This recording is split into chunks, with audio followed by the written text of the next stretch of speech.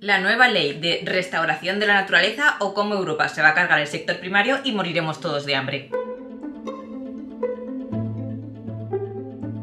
Hola a todos y bienvenidos a Naturaleza Vivida. Mi nombre es Lidia para quienes no me conocéis y para quienes sí, gracias por volver. Si habéis visto alguno de mis otros vídeos sabéis que me gusta jugar un poquito con los títulos y con las intros, así que si esperabais que esto fuera un vídeo apocalíptico, ah, me temo que no. Simplemente me he leído las 200 y pico páginas de la ley y voy a contarlas aquí un poquito, sobre todo los impactos que va a tener en la agricultura y en el medio ambiente. Como todos los textos legales, a mí esto me parecía un tocho, porque es un tocho. Así que voy a intentar hacer este vídeo más bien cortito y ligero. De todos modos, como siempre, os dejo el texto original en la descripción para que podáis echarle un ojo si queréis. Y otra cosa, si escucháis ruidos por el fondo, que espero que no sean muchos, mi dron está suelto, está en modo goblin y es lo que hay.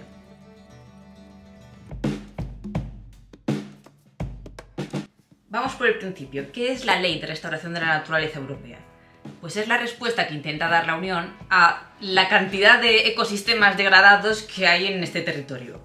Bien sea por diferentes impactos antropogénicos, por usos que se le han dado y demás. El principal objetivo es recuperar los ecosistemas que o bien almacenan o bien capturan CO2 de la atmósfera y aquellos que tienen especies pues, que están protegidas o que tienen algún tipo de vulnerabilidad.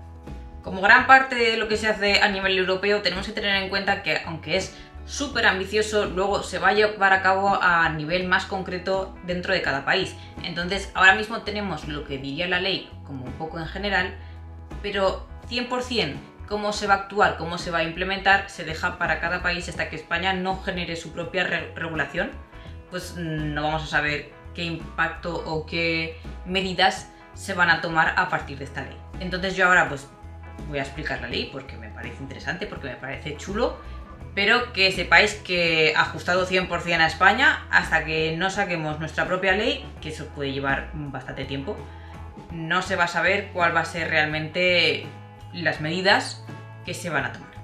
Esta ley se encuadra dentro de otras iniciativas de medio ambiente de la Unión Europea, como la Estrategia para la Biodiversidad de 2030 o el Pacto Verde para intentar llegar a la neutralidad climática en 2050. He tenido que repetir esta toma como cuatro veces para poder decir neutralidad. Es una palabra que me he puesto barbaridad. Neutralidad.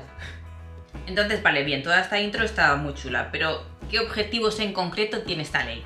Pues a mí me han parecido muy ambiciosos. Para 2030 quieren recuperar un 30% de los ecosistemas europeos, para 2040 un 60% y para 2050 el 90% de los ecosistemas europeos. Entonces, ¿cuál es el problema con el que se ha enfrentado esta ley? ¿Por qué se ha visto con tantas trabas a la hora de salir? Que por cierto ha salido de una forma bastante más suave de la que había al principio. Por ejemplo, se han quitado bastante legislación sobre los químicos que se pueden emplear en agricultura. Por parte de la mayoría de países que votaban que no, el mayor problema que le veían es que si se pretende recuperar el 90% de los ecosistemas y tanto las ciudades como el campo se consideran ecosistemas, ¿Qué parte nos queda para alimentar a la población o para la industria? Una de las cosas que más llama la atención es que esta ley se ha aprobado de una forma súper justa con una mayoría del 66%. Que si no recuerdo mal, en Europa las cosas se tienen que aprobar con un 60 o un 65% para que se considere mayoría. No me citéis en esto, pero creo que iban más o menos por ahí los números. Sin embargo, cuando se preguntaba a la población de los países que estaban votando que no, la mayoría sí que estaba a favor de esta ley. Pero aún así había bastante recelo sobre cómo iba a afectar sobre todo a la producción de comida, que al final es algo que, bueno, nos afecta como muy directamente. Como era el eslogan que salió con las protestas del campo, sin el campo la ciudad no come o algo así, bueno, bastante ilustrativo. Entonces, al final, ¿cuáles son las casuísticas que realmente se han visto incluidas dentro de la ley? Lo primero es ir recuperando unos ecosistemas que ellos enumeran en el anexo 1, que son un mogollón, pero que están clasificados en ecosistemas terrestres, costeros y de agua dulce, ecosistemas marinos, ecosistemas forestales en los cuales también se prevé que se puedan explotar de cierta manera, siempre y cuando se intente aumentar su biodiversidad y se planten sobre todo especies autóctonas. También lo que ellos llaman ecosistemas urbanos, que básicamente son las ciudades, pero que se pone como una obligación que las ciudades cada vez tengan más espacios verdes y que además los que ya tienen no se puedan quitar. que a mí me parece estupendo. Y a ver, esto es una pequeña puya, pero es que en mi ciudad se han estado sustituyendo un montón de plazas con espacios verdes por unas sartenes de hormigón en las que no hay ni una sombra, que aquello es terrible. Pero bueno, simplemente eso, poner más espacios verdes, más parques y tal, para que las ciudades no sean como un islote de cemento en medio del resto. Otro punto que a mí me parece muy interesante es mejorar la conectividad de los ríos y tratar de mantener o mejorar las llanuras aluviales. De hecho yo cuando empezaba a subir vídeos en este canal, creo que ahora el vídeo ya lo, tengo en privado porque era de los primeros y me da un poco de vergüenza. Pero hice un vídeo sobre cómo las llanuras aluviales, cómo el permitir que el río se expanda cuando viene una avenida, evita muchos de los daños que hay por inundaciones porque es ese espacio que le permite al río simplemente pues expandirse, lo que hace que el agua no lleve tanta velocidad y no genere tantos daños. Porque si colocamos el río muy encajonado, muy cerrado con barreras, el agua lo que va a hacer es ir mucho más deprisa, tener mucha más fuerza y hacer muchos más daños si en algún momento llega a romper alguna de las barreras. Funciona igual que si coges una manguera y le pones el dedo y tapas parte. El agua va a salir mucho más deprisa por ahí. Bueno, pues esto es algo que se quiere intentar evitar. Y además, pues lo de eliminar barreras que ya no funcionan, pues porque bien están obsoletas o son presas que ya están colmatadas y no tienen ningún tipo de funcionamiento. Y entonces permitiría pues que los peces suban y bajen, que haya más intercambio de biodiversidad y que el río vaya poco a poco recuperando su régimen normal. Que, mucha atención, esta parte no quiere decir que se vayan a eliminar las que sí que están en funcionamiento y las que sí que se están aprovechando. Siguiendo con el aprovechamiento de zonas naturales, la ley pone un par de excepciones que si bien es cierto que en su mayoría tienen que tener una evaluación de impacto ambiental positiva, sí que tienen como más libertad a la hora de ponerse que otras instalaciones, que serían las energías renovables, y las de defensa nacional. Las energías renovables, pues porque aunque tengan cierto impacto, básicamente se consideran un mal necesario para poder eliminar el consumo de combustibles fósiles. Y en tema de defensa nacional, pues zonas que o bien ya están en uso o que se consideran súper necesarias para la protección de la Unión Europea o de ese país, se pueden eximir de esta ley. Además, se pide que se intente mejorar por todos los medios las poblaciones de polinizadores, que son una piedra clave en toda la generación de comida y en todos los ecosistemas. Y además se propone la plantación de 3.000 millones de árboles en toda Europa. Árboles autóctonos, árboles que se supone que van a tratar de captar CO2 y mantenerlo en su biomasa. Y ahora sí, vamos con el favorito de todos, que son los ecosistemas agrarios.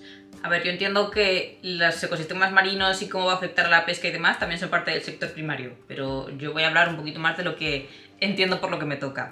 Lo primero que hay que tener en cuenta es que esta ley subraya un montón que el uso agrícola que se dé al campo debe poder mantener a la Unión Europea. Es decir, intenta promover una autosuficiencia de toda la Unión, para no tener que depender de importar desde otros países. Sin embargo, lo que propone es alejarse de la agricultura industrial que se ha estado llevando a cabo en los últimos años, lo cual podría parecer bastante contraintuitivo porque la agricultura industrial es la que parece más productiva. Esto ha sido uno de los mayores puntos de choque que ha habido cuando se estaba intentando promover esta ley, porque se proponen unas nuevas formas de cultivar que promuevan la biodiversidad, es decir, que no haya monocultivos, que se cultiven varias cosas en una misma zona, que haya biodiversidad de insectos, por lo tanto los plaguicidas se usen menos, que también se conserven muchas de las lindes, muchos de los árboles que hay rodeando los campos pequeños, por lo tanto se intentan evitar los grandes latifundios. Y va de una forma un poco contraintuitiva a la idea que tenemos de esos campos amplios que se pueden cosechar todos de golpe y que además producen un montón, una barbaridad, porque les estamos metiendo una gran cantidad de insumos para que produzcan todo lo que puedan esa cosecha. El plan de esta ley es que no sea solamente una cosecha muy potente para ese año concreto, sino que se extienda a lo largo de muchos años. Es decir, que a nuestros nietos les llegue un campo en las mismas o mejores condiciones de la que lo tenemos nosotros. Que si siguiésemos explotándolo de la forma industrial que estamos haciendo ahora, pues no sería posible que les llegase porque poco a poco lo vamos desgastando.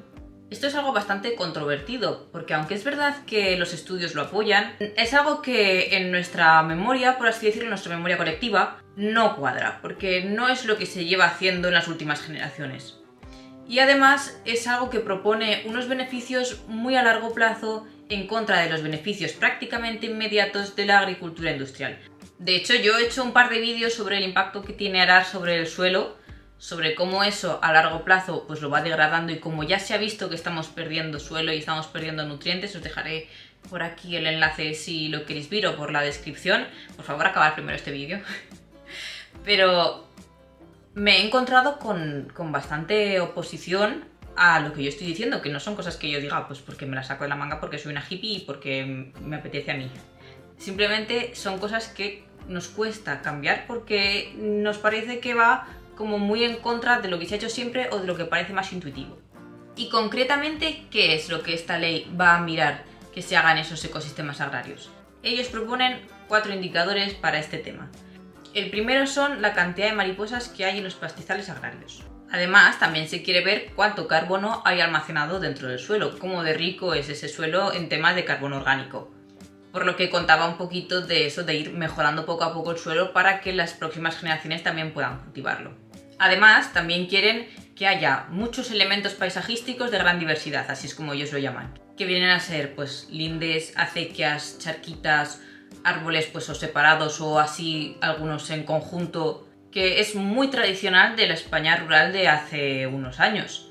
Y aunque en principio a lo mejor eran un poquito más simplemente por conveniencia, ¿no? Por separar tu campo de, al lado, por tener una división clara y por poner ahí un árbol del que pudiese escoger, pues yo qué sé, unas manzanas o unos melocotones así de vez en cuando y que realmente tampoco ocupas de mucho sitio, pero lo que ocurre es que esas zonas se convierten pues, en una reserva de biodiversidad, en una zona de protección para un montón de animales, desde insectos a mamíferos, a un montón de aves. Y hablando de aves, ese es el último punto, que son la cantidad de aves que hay que están asociadas a los campos de cultivo concretos de cada país. Que en España, pues por ejemplo, tenemos estas. Y además, en tema de agricultura también se ha hecho mucho, mucho hincapié en esta ley. Hay una zona bastante grande en la que se describe sobre evitar la sobreexplotación de turberas o el secado de turberas para utilizarlas como zonas de agricultura. Entonces, si lo que se quiere es que la agricultura en Europa siga siendo productiva, pero a la vez tenga una mayor diversidad y no sea tan industrial, tan intensiva, ¿qué es lo que significa para la agricultura en Europa? Pues sobre todo un cambio hacia una agricultura diferente, una agricultura moderna, que no sea ni la industrial que se lleva dando a cabo desde hace unos años, ni la que teníamos hace un siglo. Es una agricultura que tiende hacia una sincronización con la naturaleza, hacia una permacultura, de forma que imite de alguna manera los ecosistemas naturales, pero siga produciendo para el consumo humano y el consumo animal, que también es importante. Esto la verdad es que puede ser un poco como disperso, al menos a mí me lo parecía cuando lo estaba leyendo. Pero la ley también propone algunos ejemplos de cuáles son las medidas concretas que se pueden poner para la agricultura. Bueno, en realidad pone ejemplos para todos los puntos, pero como yo estoy hablando de la agricultura, pues vamos a ver esos. El primer ejemplo que da la ley y que es un tema sobre el que vuelve a insistir muchas veces son los elementos paisajísticos que veíamos antes, las lindes, las charquitas, las acequias, los árboles, porque eso aumenta muchísimo la biodiversidad que hay en los campos. Y además actúan como unos corredores, como unos pasillos por los que los animales pueden andar de forma segura y sin molestar a lo que vendría siendo pues, la explotación agrícola. Además se propone que estas explotaciones tengan un enfoque agroecológico. ¿Y qué se entiende por agroecológico? pues recuperar prácticas como el cultivo múltiple en una misma zona. Pues por ejemplo, en mi pueblo lo que se hacía es que en la zona donde estaban plantados los almendros también se plantaban judías, de forma que los dos cultivos se complementaban uno al otro. O la que es súper popular y siempre se habla de ella cuando se hablan de cultivos que están juntos, que están complementados uno con otro, el del maíz, las calabazas y los frijoles que se practicaba o se sigue practicando mucho en Sudamérica. Además, se quiere retomar una práctica que antes estaba súper extendida, que es la rotación de cultivos, dejar partes en barbecho para que la tierra pueda recuperarse y implementar una gestión integrada de tanto los nutrientes como los pesticidas, es decir, hacer un análisis previo antes de emplear este tipo de elementos para usar solo lo necesario y hacerlo de una forma mucho más particular para la parte que estamos tratando. En tema animales se quiere recuperar mucho lo que es el pastoreo extensivo, que además de que actualmente está integrado ya en los ecosistemas porque lleva mucho tiempo evolucionando con los ecosistemas humanos, con los ecosistemas agrarios. Cuando los comparamos con las granjas de intensivo es que directamente no tienen comparación con el impacto que generan unos y otros. Además, se quieren reducir mucho todo lo que sea el uso de pesticidas químicos y abonos químicos, ir moviéndose en un sentido quizá un poquito más, no quiero decir natural, pero en torno a abonos verdes, o control de plagas con otro tipo de insectos depredadores, cosas por el estilo. Y también se proponen que las zonas que están abandonadas, que ya no tienen explotación, pues se dejen simplemente para otros ecosistemas. Cuando surgió esta ley se hizo un vídeo en el que aparecían pues varios expertos hablando del tema, en el que trataban los mitos que había sobre, sobre la propia ley. También os lo dejaré por abajo porque está en inglés, pero es muy interesante. Es un poco tocho, eso sí. Pero si le queréis echar un ojo. En este vídeo lo que se explicaba también pues es que bueno, esta legislación no es algo nuevo. Es verdad que Europa lleva mucho tiempo avanzando en esta dirección con diferentes tipos de legislaciones, pero sí que es uno de los proyectos más ambiciosos. También hablaban un poco del miedo a que no sea compatible con el sector primario y que genere una inestabilidad alimentaria, pero como estábamos ya mencionando antes, no es que sea incompatible con el sector primario, sino que fuerza una transformación del sector primario para que sea viable hasta futuras generaciones. Y el cambio siempre es, pues, eh, ¿cómo decirlo? No, no problemático, pero sí que cuesta trabajo. Y volver a llegar a un momento en el que, digamos, esta es, esta es la forma, aquí estamos cómodos con los resultados que obtenemos y con la biodiversidad que tenemos y los impactos que se generan en la naturaleza. Pues va a llevar un tiempo.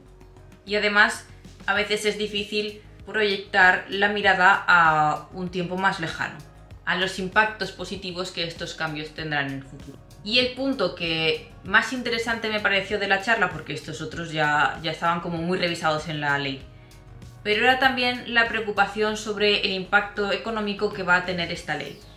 Porque sí que es verdad que va a afectar a ciertos trabajos porque son actividades económicas que tienen un impacto directo en la naturaleza, un impacto negativo en la naturaleza y se van a tener que reconvertir. ¿Qué es lo que se comentaba en esta charla? Pues que si bien estos trabajos en concreto sí que es posible que tengan un impacto, por poner un ejemplo, las explotaciones intensivas de cerdo se van a tener que reducir, pero es que en España la explotación intensiva de cerdos es algo que es, a mí me parece absurdo. En Aragón, que hablo de Aragón porque es lo que a mí me toca, hay más cerdos que personas, por la cantidad de cerdos que exportamos.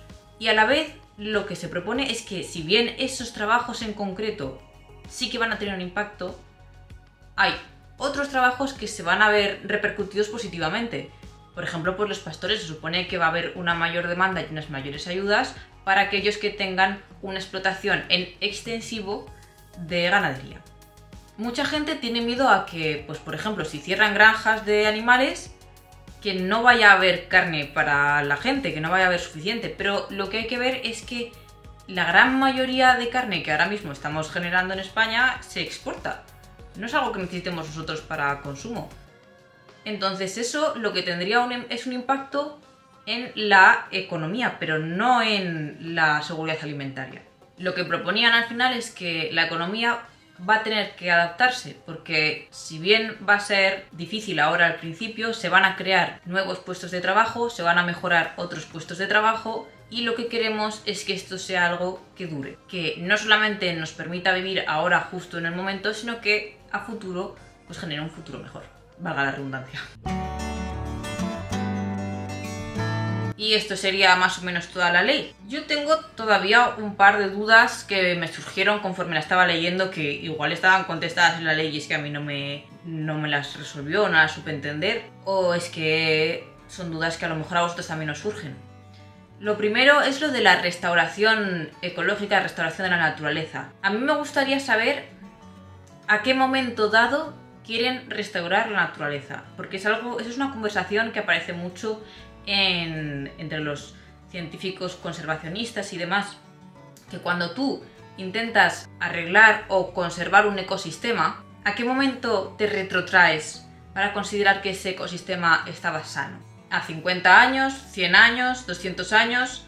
Porque en Europa el ser humano lleva tanto, tanto tiempo afectando a la naturaleza y además esta misma se va adaptando a nosotros que es muy difícil encontrar el punto de naturaleza virgen, por así decirlo, porque en Europa prácticamente no hay, por no decir que no hay. Y ese es un punto al que yo siempre vuelvo cuando veo algo que es de recuperación de naturaleza o conservación de la naturaleza, que son todos los movimientos de renaturalización y de intentar ver qué momento queremos recuperar como óptimo de ese ecosistema. Además, para mí, lo del tema de impacto económico no terminó de quedar muy claro. Pongamos que sucede tal como ellos lo proponen, que se dañan unos empleos, pero se generan otros que son mucho mejores y que el neto es positivo. Pero me gustaría ver algo concreto para la transición de esos empleos, para que la gente que ve su modo de vida afectado pueda cambiar al otro modo de vida o tenga algún tipo de salida, que no simplemente se queden colgados. Y por último, lo que me preocupa es que esta ley, si bien en Europa tenga un efecto positivo, lo que conlleve es también una externalización de los impactos. Es decir, que haya cosas que en Europa no se puedan hacer porque van a dañar los ecosistemas, porque se consideran negativos y tal. Pero en terceros países sí que se pueden hacer y acabemos importando esos productos que nosotros no podemos hacer de terceros países. Yo creo que si en Europa se piden una serie de, condiciones para poder producir, todo aquello que se importe debería también cumplir esas condiciones, si no sería un poquito injusto para nosotros mismos. Y lo de externalizar los impactos no es algo que solamente suceda con cosas que importamos, que compramos, sino también se ve en exportación pues, de residuos o en compraventa de CO2 y demás. Me gustaría ver que todo eso, pues a los países con los que se tiene algún tipo de negocio, se les piden las mismas cosas que se nos piden dentro de la Unión Europea. Y esto sería todo por hoy. Espero que la ley haya quedado pues más o menos clara y que se vea pues lo que, lo que dice porque la verdad es que es un tocho. Me dejáis en comentarios lo que os parece, si creéis que es una buena ley, que es una mala ley, que tiene sus fallos, que no sabremos realmente lo que es hasta que España no ponga el plan concreto de cómo la va a poner en marcha. Darle a me gusta si os ha gustado el vídeo y a seguir si queréis ver más cosas como estas o queréis verme peleándome con el huerto, que por cierto estaban dando granizo para dentro de nada, de una hora o así, así que espero que no me fastidie los cuatro tomates que me quedan porque ya es hora de renovar cultivos y ponerlo de otoño. Pero como veis se ha, puesto súper oscuro mientras estaba grabando el vídeo y espero que la luz del foco que se refleja en mi gafa no os haya distraído demasiado. Y eso es todo. Espero que os haya gustado. Muchas gracias por ver el vídeo hasta el final y nos veremos en el próximo.